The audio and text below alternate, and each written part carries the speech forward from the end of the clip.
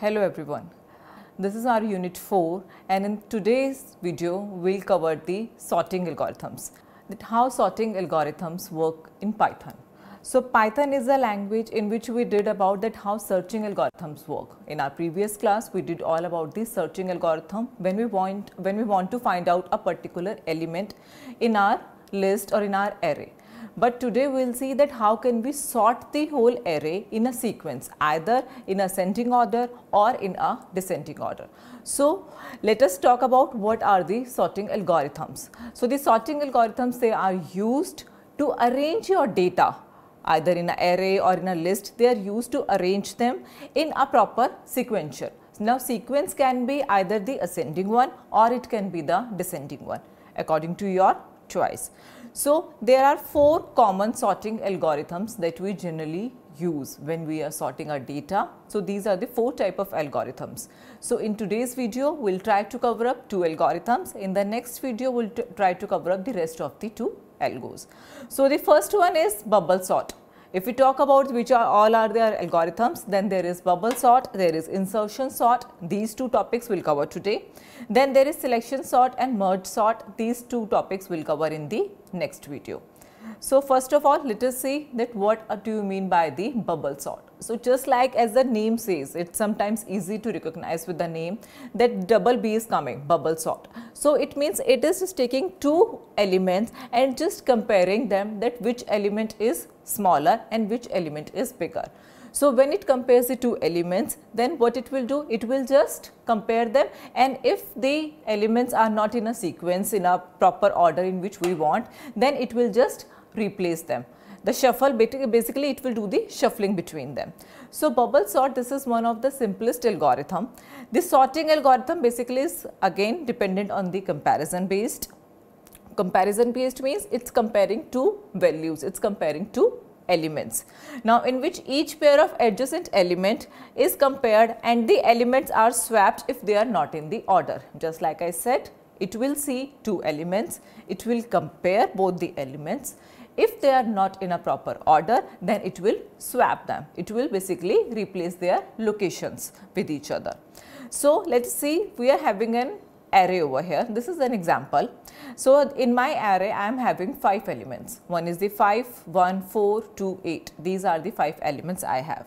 I want to arrange this whole array in a ascending order. Okay.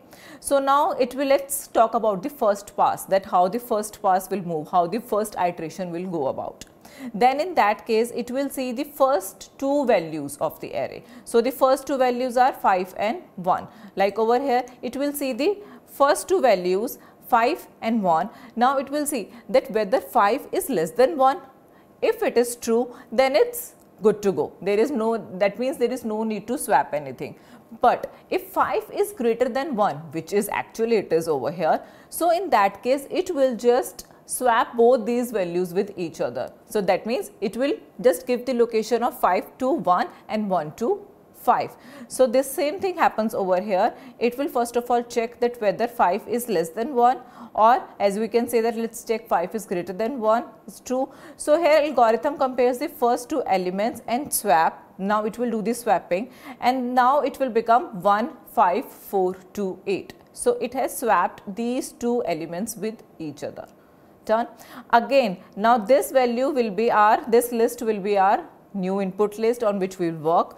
Now again in this list we will check that 1 5 is done okay? Now we'll see the next two elements. So when these uh, 1 5 is done so now it will leave 1 over here and it will come to the next element. So now it will take 5 and 4 now it will check that whether 5 is less than 4 if 5 is less than 4 that means no swapping is required but over here 5 is greater than 4 as we can know that this number is greater than the 4, 4 value. So, again we need a swapping in this case. So, again we will do the swapping and now it will become 1, 4, 5, 2, 8. Now, this list will be passed over here again and again now we will see that 1 and 4 is done. Now, let us come to the next elements. So, the next element will be 5 and 2. Same comparison will be done here. 5 is not less than 2, 5 is greater than 2. So, that means we need to do a swapping one more time. So, 2 will be over here and 5 will be in the next position. Then 5 8 again now 1 4 2 5 8 over here. Now when we compare this 5 and 8 the 5 is less than 8 yes the condition is true. When the condition is true then it means that we don't need there is no need to do any kind of the swapping. We'll just keep the list as it is. So it is just like a simple one. 1 4 2 5 8 we'll just keep the list in a same order. So, this whole these whole steps these all four iterations which we did they all come under one pass. So, one time we did basically we traversed the whole list. One time we did this part. Now, let us come to the second one. So, in the previous one as you can see that 1 4 2 5 8 was the final list was the final array which came into our account. So, now again I am doing a second iteration round. So, in the second iteration I am passing the same list over here 1 4 2 5 8 the same arrays here now again it will check with the starting. Now again it will check this first two elements. It will compare them. If the values are greater than just uh, basically if it is greater than with the other one we'll do the swapping. If it is less than we will not swap. So the same concept will go on over here. So again i will check that 1 is less than 4 yes it is true. So no swapping is required. So, it will be like this. 1 4 2 5 8 as it is. So, when I am passing 1 4 2 5 8 then again now it will check 4 and 2. 4 is less than 2? No, 4 is not less than 2. So, in this case again I need a swapping. So, when I swap then it will become 1 2 4 5 8. When I pass this over here then I will check with 4 and 5 there is condition is true 4 is less than 5 no swapping is required fine. Again this will come over here. Now 5 and 8, 5 is less than 8, condition is true, no swapping required. So 1, 2, 4, 5, 8, I am having a final array. But this array is not finalized till the time we do one more swapping. When we see, see, when we do a one more pass, if the pass, the result of this second pass and the third pass is same, then it means that yes, now we need to stop our sorting part. Now the sorting part is equal basically we are having a proper sorted array now there is no need to do any more sorting. So when we got the output from the two passes equal then only we are going to stop otherwise we have to continue this process till the time we are not getting a same result. So again in the third time we will pass this one this array over here 1 2 4 5 8 I will pass it over here. I will see with again 2 2 values again 2 2 elements I will pick and see that whether swapping is required yes or no or if it is required then I will do that. So 1 and 2 1 is less than 2 no swapping then 2 and 4 2 is less than 4 no swapping 4 and 5 4 is less than 5 no swapping and 5 and 8 5 is less than 8 so no swapping. So the output from this one and the output from this one is absolutely same. When it comes same then it means that now we need to stop our sorting algorithm. This is our sorted array. So 1, 2, 4, 5, 8 this is a sorted array. So see the algorithm needs only one pass without any swap in this one, I have not done any of the swapping. So, I need just one pass in which I am not doing any kind of the swapping. Then it will tell me that it is a sorted array. It will tell me that this one is a sorted array. So, let us see one thing that how we can just do it in our Colab. Let us try to do it in Colab now just like the same previous time we did in the Colab. So, this is my program for the bubble sort in this how I am just going on that this is my definition of the bubble sorting that how the process will go on. So, for example, I have given here let us start from here that this is my array 51428 I have just given a random array over here and I am calling bubble sort. Inside the bubble sort I am passing array. So, this array I am passing inside my this bubble sort function.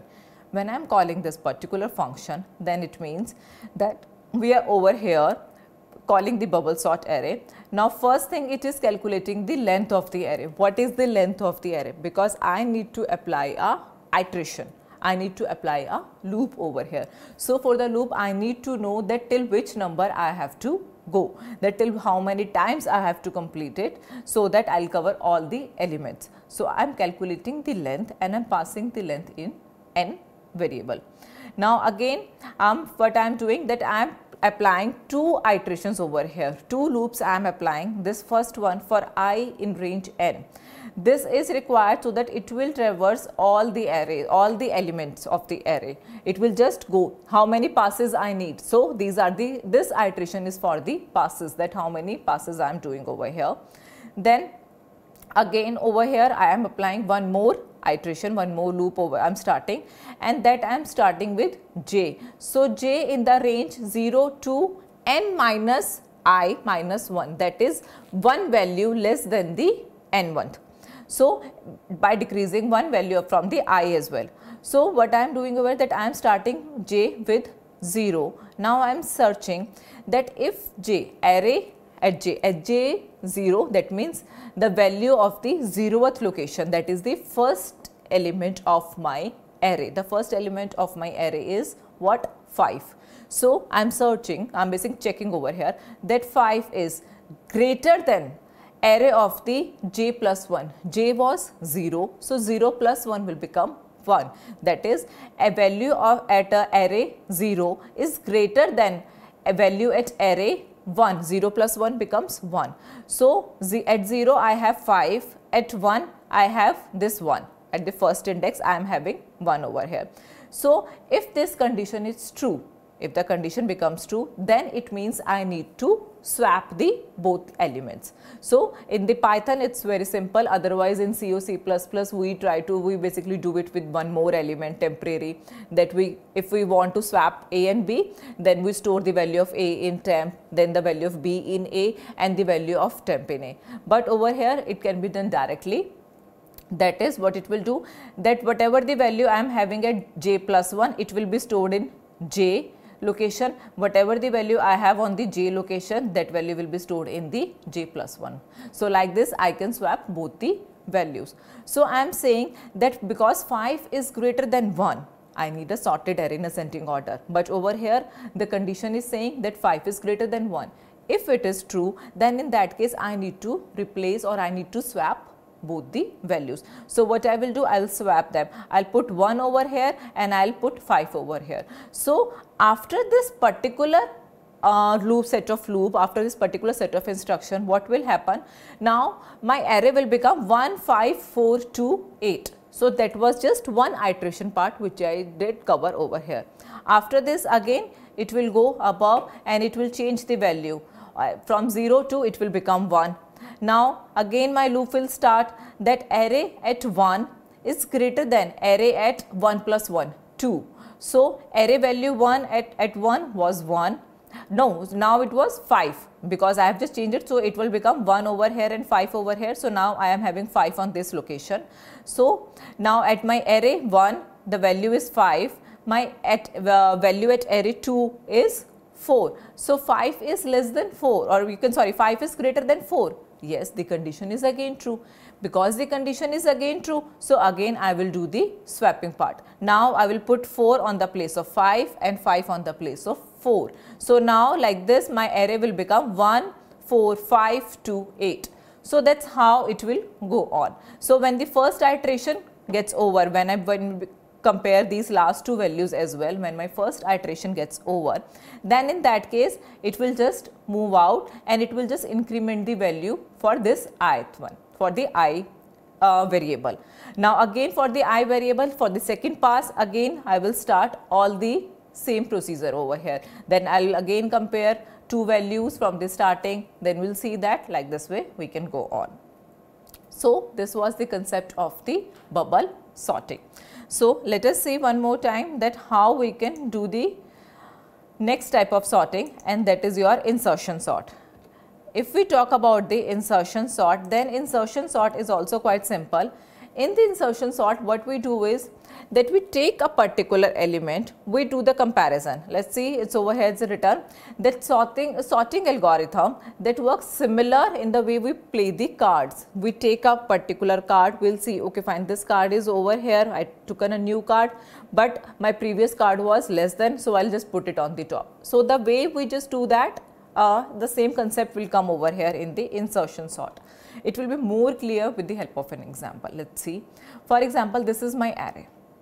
12, 11, 13, 5, 6. These are the 5 values I have. Okay. Now I am saying in the first time initially what I will do is I will do the comparison between the starting two values. Quite obviously I will compare 12 and 11. I need it in a ascending order. So when I compare them then I can see that 12 is greater than 11. That means I need to swap them. So what I did, I just swapped them. I put 11 on the place of 12 and 12 on the place of 11. So this is how I did the swapping part.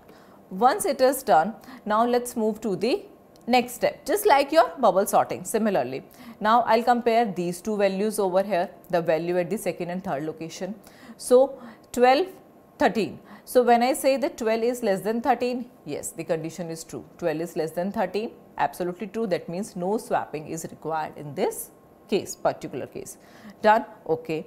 Now i'll come to the next one. So 11 like i said over here it was 11 12 13 5 6 so similarly i'm having i'm having over here 11 12 13 5 and 6 12 30 at 12 and 13 we already compared. So now, now come to 13 and 5 so when i'm comparing then the 13 is less than 5 no, the 13 is not less than 5. In that case, I need a swapping. So, when I did this swapping, then I put 5 over here and 13 over here. Till this part, it was just looking like your bubble sort. But what happens after this step? Now, we will see that as I have done a swapping part, so now I will check that this 5, this 5, is it less than my previous number also? If it is true, then please swap these numbers again okay. So, I will check that 12 is less than 5.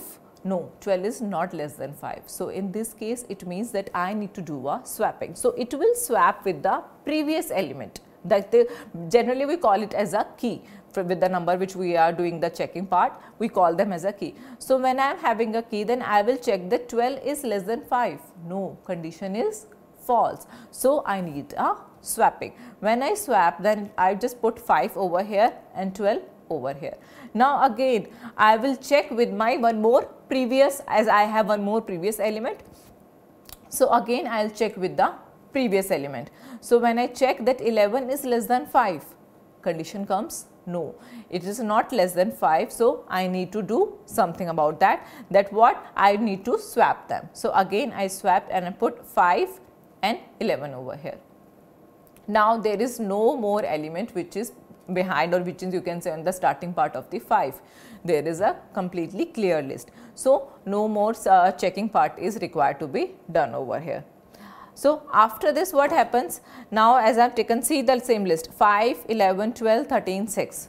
This is the same list 5, 11, 12, 13, 6. So, now till this point till 12 I have already verified all my elements. So, till 12 this is a proper sorted array. 5, 11, 12. Over here it is a sorted one. Now last two elements have been left. I will check 13 and 6. 6, 13 is not less than 6 or you can say 13 is greater than 6 then it means I need to swap them. I did the swapping. 6 come over here 13 goes on the other place.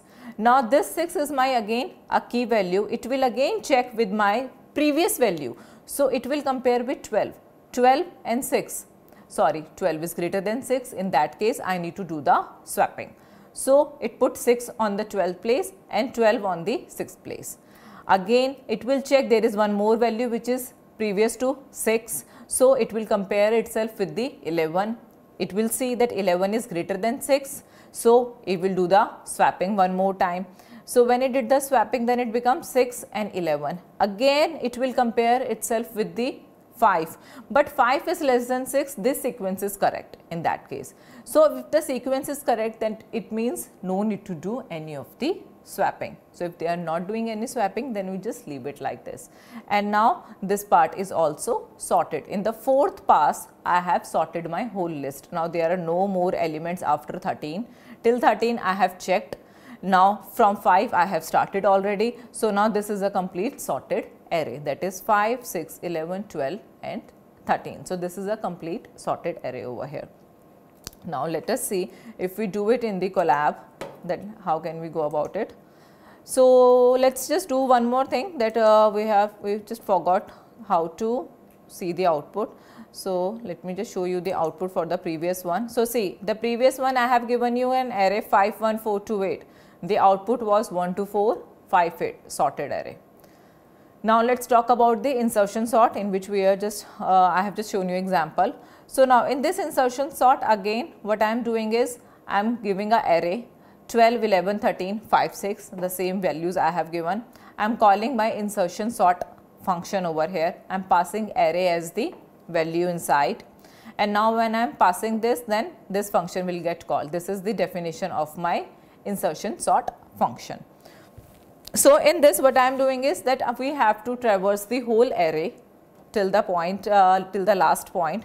So, I am just calculating the length directly. In the previous one I have calculated the length and passed it into n. Over here I am directly calling the function.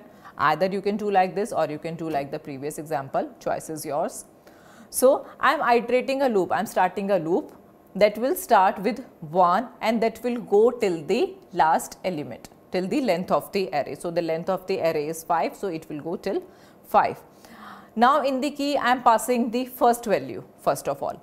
So, the key inside the key I am passing array 1. So, I am passing the value over here that is the not the exactly the first value that is the second value because first value is already I am saving with me I am comparing with the second one. So, the second value I am passing inside the key over here.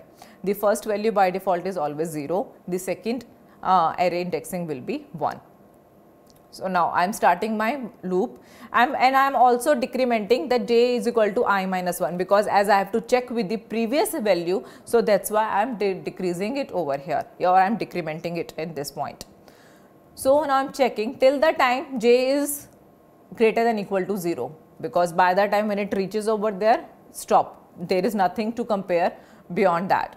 So, till the time j is greater than equal to 0 what we are doing we are just saying that key if the key value is less than my array j.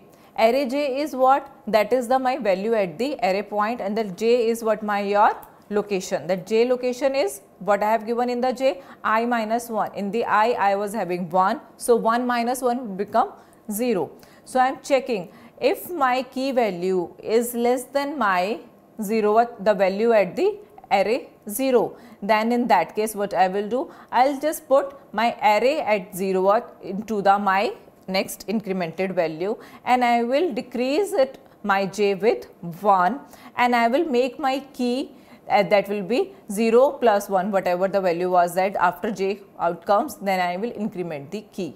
So, like this way it will again and again check with compare with the previous value. So, it will see whether two elements compare them if there is any kind of the swapping required, it will did that and it will then compare with the previous values as well. That if it is uh, needed over there as well, if required, then it will replace them or it will swap them as well. So, like this way, it will sort your array, then at the last we have printed the array. So, if we see the output, see the my array was 12, 11, 13, 5, 6. After sorting, it becomes 5, 6, 11, 12 and 13. So, like this way how our bubble sort and insertion sort works. So, what happened in the bubble sort? We take two values, we compare them and again and again we will just see that if it is, if swapping is required, we do at the same point and then just move ahead. In the insertion sort what we do? We do, we take two values, we compare them together, but if the swapping is required, we do that. Then after swapping, we'll compare that particular value with our previous elements also. If any kind of the swapping required on the previous stage, then we do that and then after this, we'll see that till where we can go. So, these were our two sorting algorithms. In the next PPT, again uh, in the next class, we'll do one more, uh, one more example basically that how our sorting works. So, there are two more types which are left with the uh, sorting part and those parts will cover in our next video that was your selection sort and the merge sort. So, thank you. We will see you in the next video.